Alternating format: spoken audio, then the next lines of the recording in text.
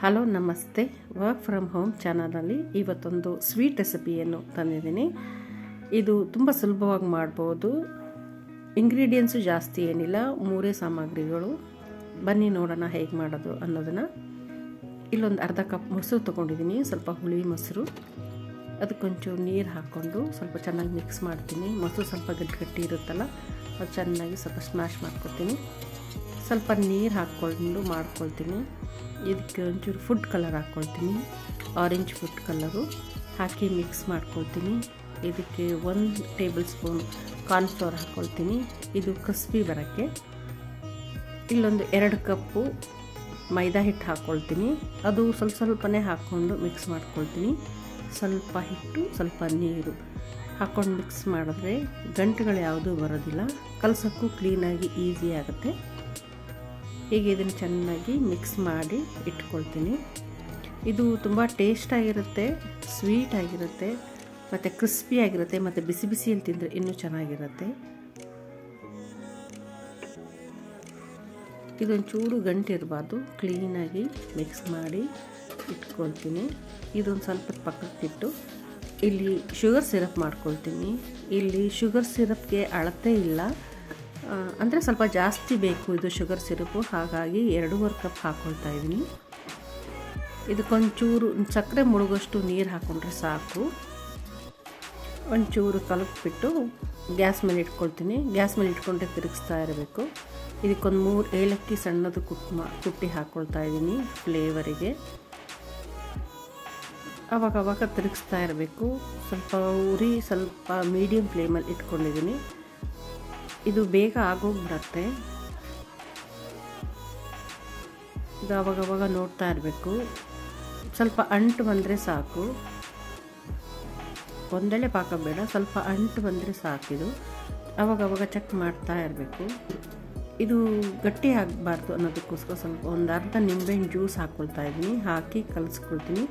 ಈಗ stove off ಮಾಡಿದ್ದೀನಿ. ಇದು ಆಗಿದೆ.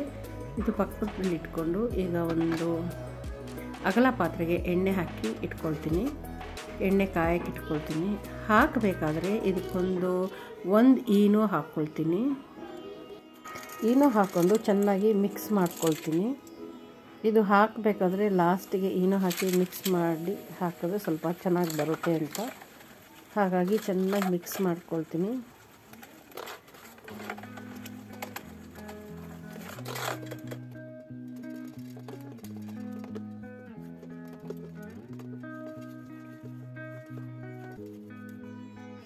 ಈ ಹಿಟ್ಟನ್ನ ಈಗ ಒಂದು ಪೈಪಿಂಗ್ ಬ್ಯಾಗಲ್ಲಿ ಹಾಕ್ಕೊಳ್ತೀನಿ ಪ್ಲಾಸ್ಟಿಕ್ ಕವರಲ್ಲೂ ಹಾಕ್ಬೋದು, ಹಾಲಿನ ಕವರಲ್ಲೂ ಹಾಕ್ಬೋದು. ಇಲ್ಲಿ ನಾನು ಪೈಪಿಂಗ್ ಕವರ್ನ ಒಂದು ಬಾಟ್ಲಲ್ಲಿಟ್ಟು ಅದನ್ನು ಓಪನ್ ಮಾಡಿ ಅದನ್ನು ತುಂಬಿಸ್ಕೊಳ್ತೀನಿ. ತುಂಬಿಸ್ಕೊಂಡು ಮೇಲೆ ಕ್ಲೀನಾಗಿ ಟೈಟಾಗಿ ರಬ್ಬರ್ ಬ್ಯಾಂಡಲ್ಲಿ ಕಟ್ತೀನಿ. ಯಾಕಂದರೆ ಇದು ನಾವು ಜಿಲೇಬಿ ಬಿಡಬೇಕಾದ್ರೆ ಪುಷ್ ಮಾಡಿ ಬಿಡಬೇಕು. ಹಾಗಾಗಿ ಬ್ಯಾಕ್ ಸೈಡಿಂದ ಹೊರಗಡೆ ಬರೋ ಚಾನ್ಸಸ್ ಇರುತ್ತೆ. ಹಾಗಾಗಿ ರಬ್ಬರ್ ಬ್ಯಾಂಡ್ ಹಾಕಿ ಟೈಟಾಗಿ ಹಾಕ್ಕೊಳ್ತೀನಿ ಇದು ಹಾಕಿದ್ಮೇಲೆ ತುದಿಯಲ್ಲಿ ಸ್ವಲ್ಪ ಸಣ್ಣಗೂ ಇಲ್ಲ, ಸ್ವಲ್ಪ ದಪ್ಪನೂ ಇಲ್ಲ. ಮೀಡಿಯಮ್ ಸೈಜಲ್ಲಿ ಸ್ವಲ್ಪ ತುದಿನ ಕಟ್ ಮಾಡ್ಕೊಳ್ತೀನಿ. ಕಟ್ ಮಾಡಿಕೊಂಡು ಎಣ್ಣೆ ಚೆನ್ನಾಗಿ ಕಾದಿರಬೇಕು. ಕಾದಾಗ ಸ್ವಲ್ಪ ಚೆಕ್ ಮಾಡಿ ನೋಡಾದಮೇಲೆ ಈಗ ರೌಂಡ್ ಶೇಪಲ್ಲಿ ಬಿಡ್ತೀನಿ. ಹಾಕಿದ ತಕ್ಷಣ ಎಣ್ಣೆ ಚೆನ್ನಾಗಿ ಕಾದರೆ ಹಾಕಿದ ತಕ್ಷಣ ಮೇಲೆ ಬಂದುಬಿಡತ್ತೆ.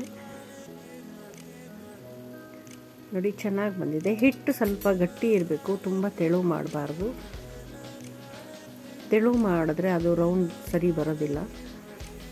ಹಿಟ್ಟು ಸ್ವಲ್ಪ ಗಟ್ಟಿ ಇದ್ದರೆ ನೀಟಾಗಿ ಬರುತ್ತೆ. ಫಸ್ಟ್ ಟೈಮೇ ಜಿಲೇಬಿ ಬರೋದಿಲ್ಲ. ನಾವು ಒಂದೆರಡು ಸಲ ಪ್ರಾಕ್ಟೀಸ್ ಮಾಡಿದ್ಮೇಲೆ ಇದು ಈ ರೀತಿ ಬರ್ತಾ ಇರೋದು. ನೋಡಿ, ಇದು ಚೆನ್ನಾಗಿ ಬರ್ತಾ ಇದೆ. ಎರಡು ಕಡೆ ಎಣ್ಣೆಯಲ್ಲಿ ಫ್ರೈ ಆದಮೇಲೆ ಶುಗರ್ ಸಿರಪಲ್ಲಿ ಹಾಕಬೇಕು. ಈಗ ಇದು ಸೆಕೆಂಡ್ ಬ್ಯಾಚ್ ಹಾಕಿದ್ದೀನಿ ಹಾಕಿದ ತಕ್ಷಣ ನಾವು ಎಣ್ ಶುಗರ್ ಸಿರಪಲ್ಲಿ ಹಾಕಿದ ತಕ್ಷಣ ಒಂದು ಸ್ವಲ್ಪ ತಾದ್ಮೇಲೆ ತೆಗೆದು ಬಿಡಬೇಕು ಇಲ್ಲಾಂದರೆ ಅದು ತುಂಬ ಮೆತ್ತಗಾಗಿ ಸಾಫ್ಟ್ ಆಗಿಬಿಡತ್ತೆ ಕ್ರಿಸ್ಪಿ ಬರೋದಿಲ್ಲ ಶುಗರ್ ಸಿರಪಲ್ಲಿ ಹಾಕಿ ಸ್ವಲ್ಪ ಅದೆಲ್ಲ ಹೀರ್ಕೊಂಡ್ಮೇಲೆ ತೆಗೆದು ಬಿಡಬೇಕು ಹೀಗೆ ಫಸ್ಟು ಸೆಕೆಂಡು ತರ್ಡ್ ಬ್ಯಾಚಲ್ಲಿ ಹಾಕಿ ತಗೊಳ್ತೀನಿ ನಾನು ಮಾಡೋದಿದ್ದು ತುಂಬ ಸುಲಭ ಟೈಮು ಕಡಿಮೆ ಹಿಡಿಸುತ್ತೆ ಸ್ವೀಟು ಟೇಸ್ಟಾಗಿರುತ್ತೆ ಎಲ್ಲರೂ ಇಷ್ಟಪಟ್ಟು ತಿನ್ನುವಂಥ ಸ್ವೀಟ್ ಇದು. ಸುಲಭವಾಗಿ ಮಾಡ್ಕೊಳ್ಬೋದು.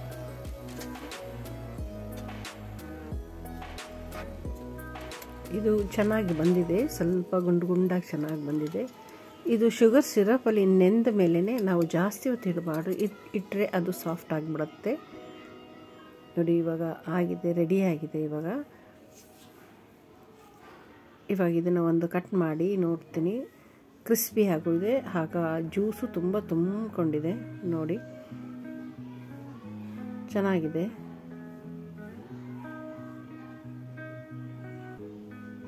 ಜಾಸ್ತಿ ಹೊತ್ತು ಇಟ್ಟರೆ ಸ್ವಲ್ಪ ಮೆತ್ತಗಾಗುತ್ತೆ. ಒಂದೊಂದೆರಡು ಆಗಿದೆ ಕೆಲವೊಂದು ಸ್ವೀ ಇದು ಕ್ರಿಸ್ಪಿ ಆಗಿದೆ. ಬೇಗ ತೆಗಿಬೇಕು ನಾವು ಶೆರ ಶುಗರ್ ಸಿರಪಿಂದ ನೋಡಿ ಜ್ಯೂಸಿ ನೋಡಿ ಹೇಗೆ ಬರುತ್ತೆ. ಹೀಗಿರಬೇಕು ಜಿಲೇಬಿ ಅಂದರೆ. ನೋಡಿ ನಿಮಗೆ ಇಷ್ಟ ಆದರೆ ಲೈಕ್ ಮಾಡಿ ಶೇರ್ ಮಾಡಿ ಸಬ್ಸ್ಕ್ರೈಬ್ ಮಾಡೋದನ್ನು ಮರಿಬೇಡಿ. Thanks for watching